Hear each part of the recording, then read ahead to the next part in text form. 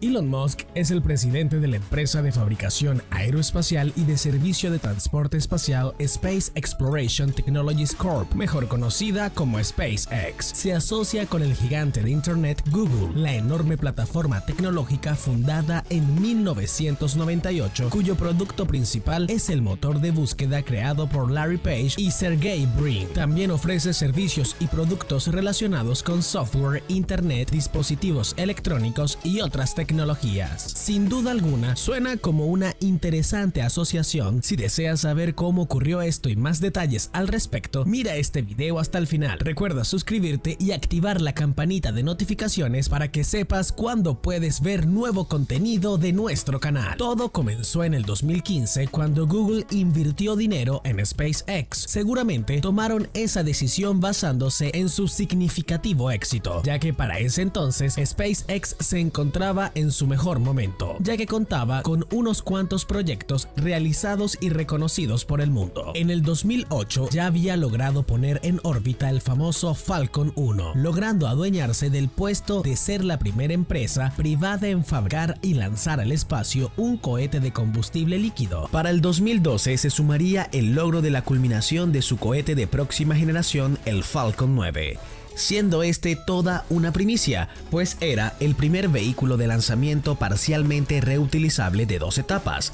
También terminaba una nave espacial llamada Dragon, capaz de acoplarse perfectamente a la Estación Espacial Internacional. Pero realmente no era por todos estos triunfos que Google se interesó en la empresa de Musk, sino por su proyecto más ambicioso hasta ese año, ya que para el 2015 comenzaba el desarrollo de Starlink. Y quizás puedas preguntarte, ¿qué es Starlink? Pues déjame contarte, Starlink es una empresa que nació como proyecto de SpaceX con la intención de crear una constelación de satélites de Internet de banda ancha que permitiera una cobertura mundial de baja latencia y a bajo costo. Es decir, que su plan inicial es situar una red de satélites a 1200 kilómetros y brindar internet a pesar de los accidentes geográficos más marcados de la Tierra que han logrado derribar torres de señal. Como se mencionó anteriormente, esta empresa comenzó su desarrollo en el 2015 y no fue sino hasta febrero del 2018 que procedió a lanzar sus prototipos. Ya para el 23 de mayo del 2019 se realizó el lanzamiento de los primeros 60 satélites, cantidad que para la actualidad ya se ha convertido en 2.600 satélites de Starlink lanzados al espacio, de los cuales 2.350 siguen en órbita y aproximadamente 2.320 están operativos. Recordemos que Google es una empresa que también tiene deseos de lograr llevar el Internet a todos los rincones del mundo. Lo ha intentado con todas sus posibilidades como es la red de fibra de alta velocidad y su plan de globos aerostáticos llamado Project Loon que se diseñó para llevar conexión a lugares remotos en zona de conflicto o en estado de emergencia. El ingenioso plan comenzó en el 2011 ofreciendo una alternativa a las antenas. Al principio dio mucho de qué hablar, incluso fue de mucha ayuda en lugares donde ocurrieron desastres naturales que destruyeron las torres de señales telefónicas, pero recientemente se llegó a la conclusión de que a pesar de ser una idea original no presentaba un plan viable en cuanto a finanzas ya que no lograban obtener los costos suficientemente bajos como para construir un negocio sostenible a largo plazo. ¿Sabías tú de este anterior proyecto de Google? Me gustaría saber tu respuesta. Compártela con nosotros en el buzón de comentarios. Aunque para el 2015 Google seguía apostando al Project Loon, al escuchar el plan de Elon, Google decidió que no podía estar fuera de este magnífico y visionario proyecto que sin duda alguna es más global y ambicioso. Es por esto que no fue considerado una pérdida el hecho de darle a SpaceX más de 900 millones de dólares para el desarrollo de Starlink, convirtiéndose en accionistas de un 10% de la empresa espacial del hombre más rico del mundo. Ahora, ¿en qué se beneficia realmente SpaceX con esta transacción? Seguramente pensaste, obviamente con la suma de más de 900 millones de dólares, pero todos sabemos que no es la razón inicial. Recordemos que la empresa es del hombre más rico del mundo, que para la fecha de inicio de este proyecto ya había amasado una gran fortuna, pues la verdadera razón de esta asociación es que SpaceX necesitaba infraestructura y recursos de redes para poder ofrecer el servicio a todo el mundo, pretendiendo ampliar su servicio a usuarios profesionales y empresas, asumiendo desde un principio que estas no son comprensibles ante los fallos de conexión. Aquí entra Google Cloud, la división de la nube de Google, quien se encarga de administrarle esos recursos de redes a SpaceX y así permitir mejorar el servicio de Starlink. Como también se puede apreciar que con esta unión Google potencia su división en la nube. Toda esta alianza no queda aquí. Estos dos grandes se unieron para combatir contra las otras grandes empresas que desean marcar un cambio y revolucionar el Internet. Y aunque hasta ahora el único en hacerlo realidad en gran escala ha sido Elon Musk con Starlink y su aliado Google, no podemos dejar de mostrarte todo el panorama. Starlink para la fecha cuenta con un despliegue autorizado en 32 naciones, de las cuales algunas están en fase de observación y de últimos ajustes.